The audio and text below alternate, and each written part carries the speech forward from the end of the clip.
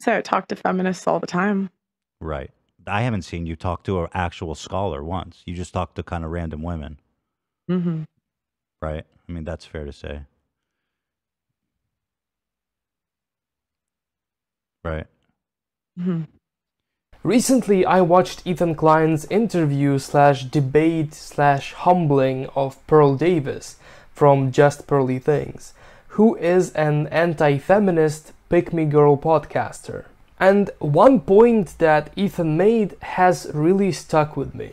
So why should I engage with in a, in a conversation with you at all if you're if women are just emotional? Shouldn't I be talking to a man about this? It really is a good point, especially with how simple it is. Why the fuck should we listen to a word she says if she's a woman, and women, according to her, are stupid and unreliable? This means that when it comes to people like her, whether I agree with her ass backwards misogynistic premises or not, she can't be right either way. Yeah, I could waste time on proving her bullshit wrong.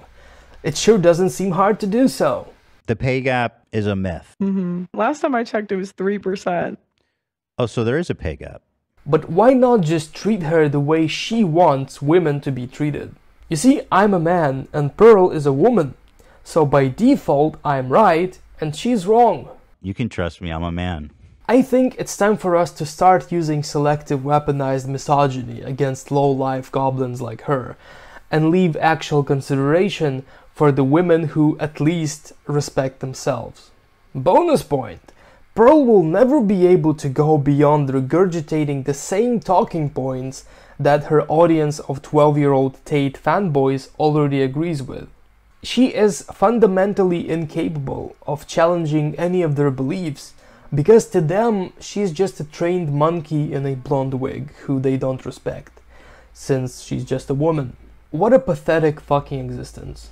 Anyway, misogyny is cringe and dumb, except for when I do it. Thanks for watching.